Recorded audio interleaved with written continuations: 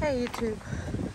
Hope you guys are having a wonderful day and uh, wanted to give you guys a small update after all the rain we got. We got like, I don't know, 10, 12, maybe even more than that inches of rain. And the garden needs to be harvested a little bit. Um, and maybe I need to seed some stuff in, uh, move some tomato plants in and things like that. So I've got my cutting tools, basket. Gonna disengage the hot fence, which can, which doesn't really keep the rabbits out, but I think it does help a little bit um, in keeping the big animals like skunks and things like that. So um, I still am looking for another alternative fencing I'm thinking about building a chicken wire. Oh, it's hard to open this with one hand. Okay, got that out.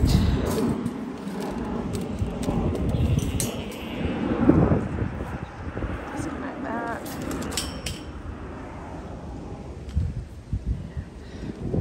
All right, so let's look at the green beans. See if we have any green beans that we can harvest.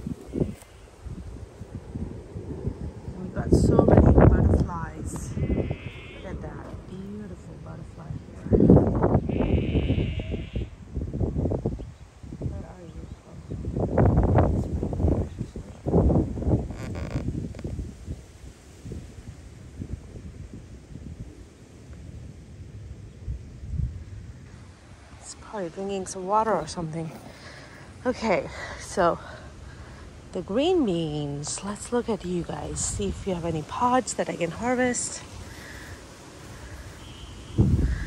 They're hard to see though. Oh, I see some green beans, so hard to see, but they're not ready to be plucked. You can see the beans growing beautifully as I had expected. And I think this is the first time they have survived the rabbits. Uh, I did plant the green beans all over here and all over there.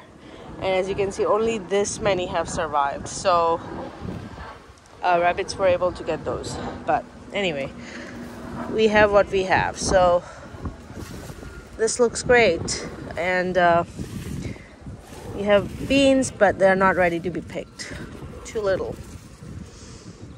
Lots and lots of blooms. I'm not sure what kind of flower or weed this is. Not sure. And I've got some Swiss chard. It's growing beautifully. I think I can harvest those two Swiss chards today. Um, because it's getting bug bug damage. Sure, there are some liz. Oh yeah, see that? Yeah. So it's being bug damaged. So.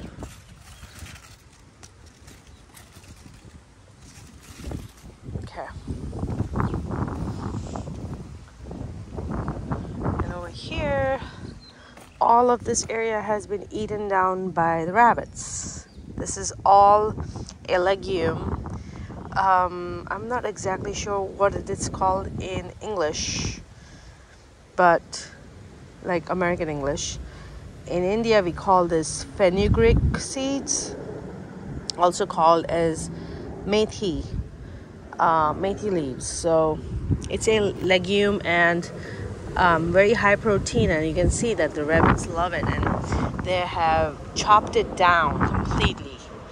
But it's regrowing the leaves again. You can see the leaves are growing again.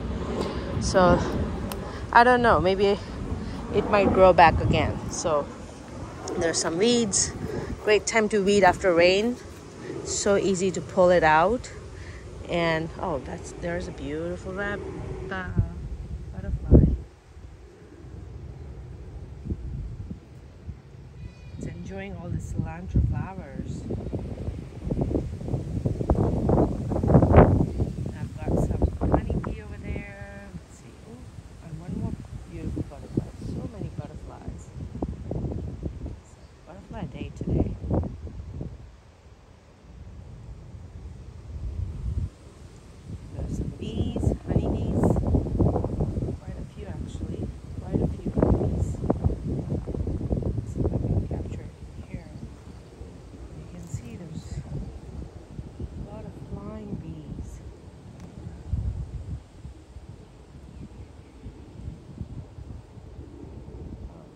There's a wasp,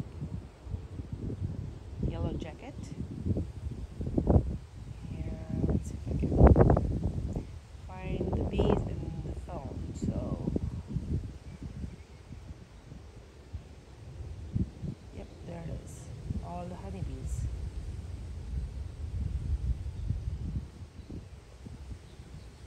They are enjoying this.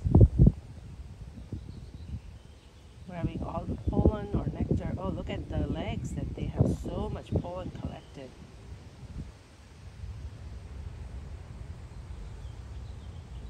Let's see. Oh, I can zoom in.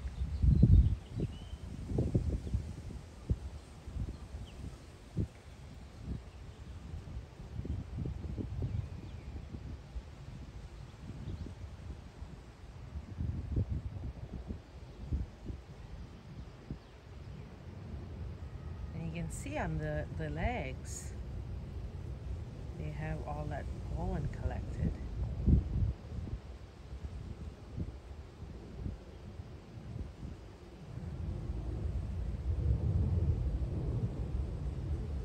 It's quite a few bees actually.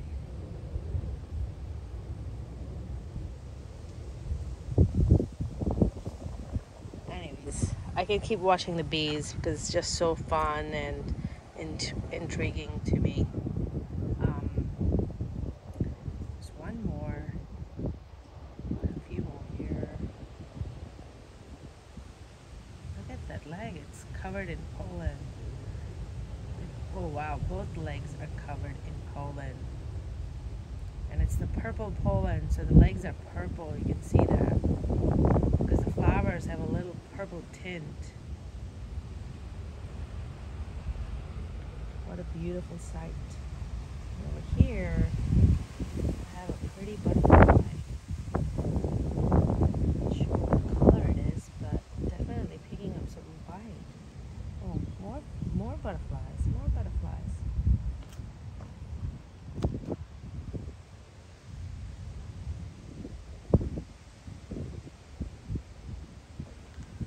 Wow, this is so fun.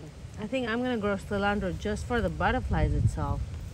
There's one more weed. Um, yeah. So highly recommend you guys grow cilantro, even if you don't eat it. If you love butterflies, you can um, attract a lot of bees and butterflies.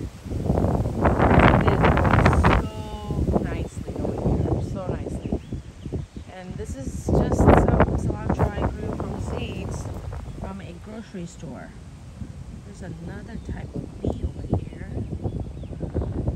Oh yeah, it's like, know, what kind of jacket type of bee it is. Yeah, they just love it.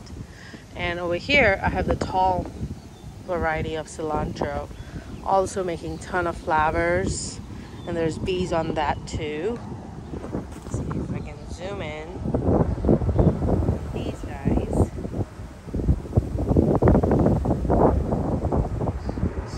Uh, this one is shaking a lot more than the shorter variety.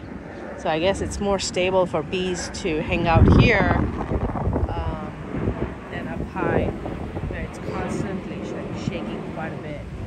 So I think that's why. Alright, let's look at the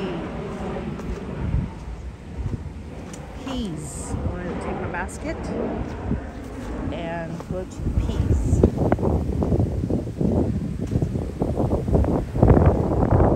Wow, look at that.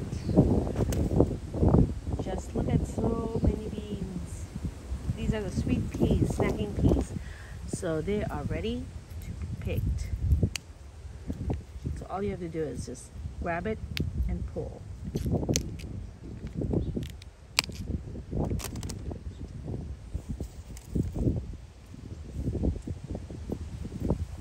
Okay. Oops. I'm gonna grab it on the very, very top so I don't lose a part of it there. Because it's breaking off from there.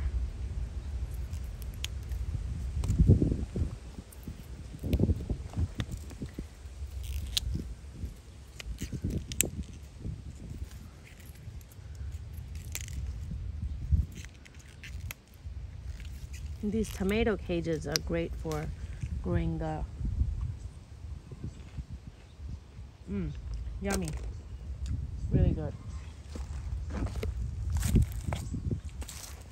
There's some weed. Bring this weed out. There's some oak tree growing, probably planted by the squirrel. And uh,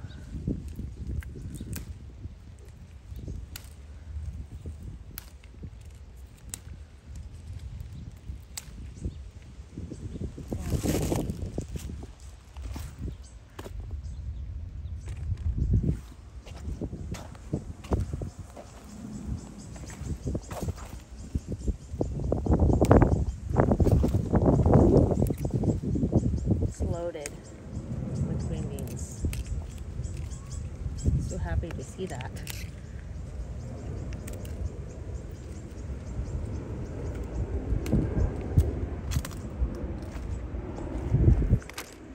One of the important things of gardening is to come spend the time um, when you can and uh, don't try to harvest everything at once if you harvest as it grows, it's more rewarding and also um, you get to eat the fresh vegetables plus um, it doesn't feel overwhelming. So over here, I usually only harvest on the weekends. Whoops, I'm dropping all the beans. On the weekends, so that way I get to see it growing. Um, sometimes I come out in the middle of the week to get some herbs or something like that that I need for cooking. But at least once a week, um, I come and pull what I need that's growing. Because if you don't harvest often, the plant doesn't produce as much as what I've noticed. So, that's one of the things I've learned over the years that harvest and weed on regular basis. That's something it's easy to manage if you harvest regularly and weed regularly.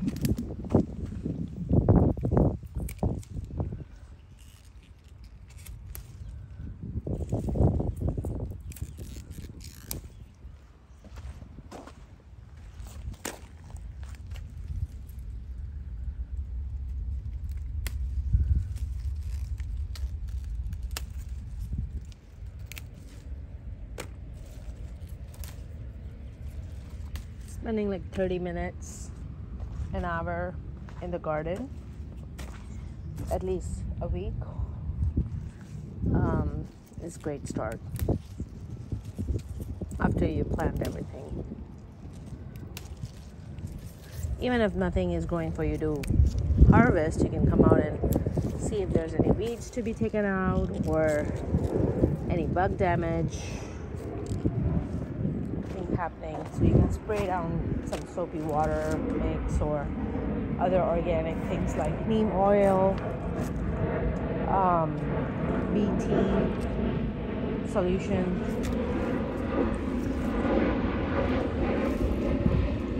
And things like that.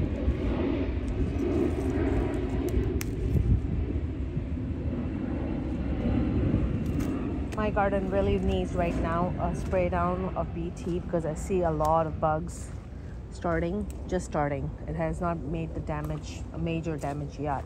But if I don't spray them right now, um, as soon as the rain stops and it's dry enough to do it, um, next time I come out here, the garden is going to be eaten um, and destroyed by all the bugs.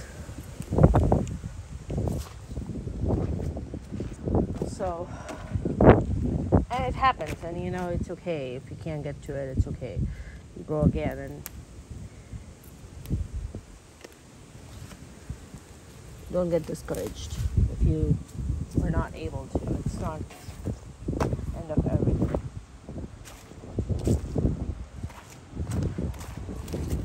Here you can see there's so much weed. Zoom out.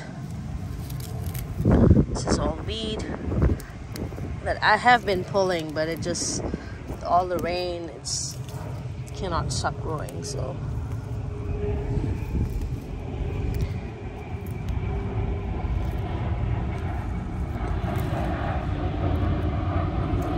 And the less weed you have, the more nutrition you have for your your plants. And I usually weed and leave the weed over here and let it turn into a um, compost. Sometimes I, if it's too much, then I'll take it out, out of the garden. These are onions that I'm growing from the starts, the onion starts and onions really don't like the weeds so it's hard to find you know which is the weed and which is the onion but as soon as you know you have got some experience you'll learn to identify the grass weed in the middle of all the onions so onions are looking good and the weeds are growing just as much, unfortunately. So.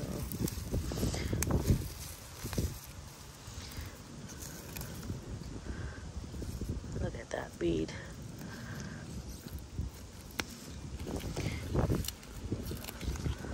have to continuously do this. Even if I cannot get all of it, I get some of it. I made a difference, so.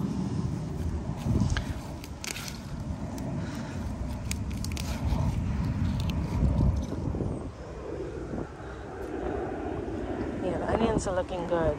Um,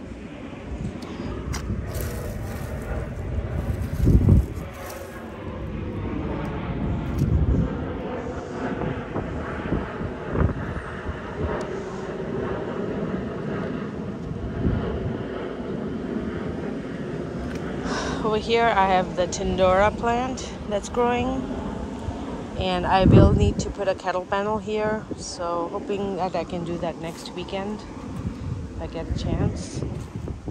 And that way um, the Tindora can take off and start producing a lot of Tindora. And this Tindora plant is very easy to grow once it's established so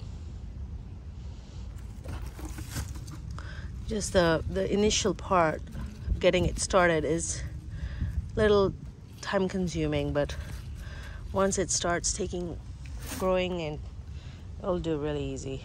You can just take a cutting put it in water and it'll root or put it in soil and it'll root. So over here I have a lot of parsley. So I think I might harvest that tomorrow to make some uh, tabbouleh. It's kind of like a parsley salad with tomato, a little bit of uh, coarse wheat, coarse ground wheat, and things like that. And this bed is breaking down, and I'm thinking that I am going to this whole area of beds and move them over there and actually fence off this garden. So I'm only going to have one row of beds and a lot of space on both the sides. That way it's easy for me to um, keep this side um, less overgrown. Like over here, you can see this is not my side, this is my neighbor's side.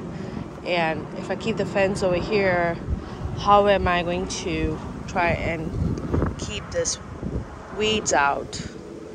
So I'm thinking in future, I'm just going to take down this whole area and uh, put a fence over here and have one one single bed row like you know like just in the same direction but keep instead of two two beds. There'll be one single bed and then a lot of space and then there'll be a fence over here. And i'm also thinking about adding a chicken wire fence um, to keep the rabbits out because i've tried to keep the rabbits out with the electric fence and so far it's not really working well so i did find um, I was able to capture the video where the rabbit is zooming out from the electric fence without any issues. And I have posted that video. And if you want to check it out um, it's just posted last in the last few days so yep these are some potatoes growing. So many butterflies so interesting. Lots of weeds growing too.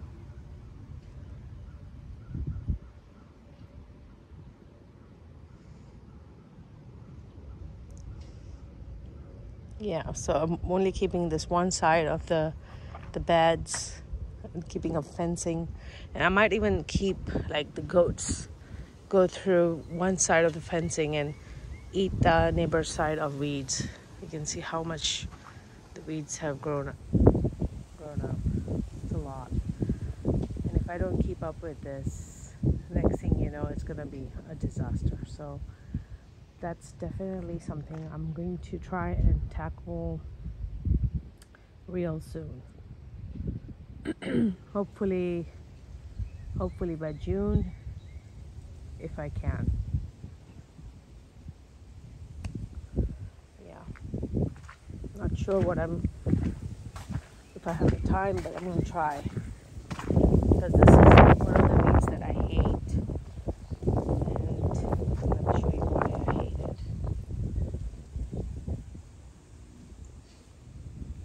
trying not to get hurt. You can see. And this is a very young branch see bad this is. This is called mesquite. It's the worst type of tree. Um, because the spikes are, look at how big the spike is. And the spike also has a spike. And these spikes usually grow like, I don't know, like four or five inches long. And I just hate it and I have a tree of that here so um, yeah it's very invasive species of tree so I do not like mesquite. It's great for barbecuing but I do not like mesquite tree. I think that's all I have. Thank you guys for watching. I uh, hope you guys have a wonderful day uh, yeah.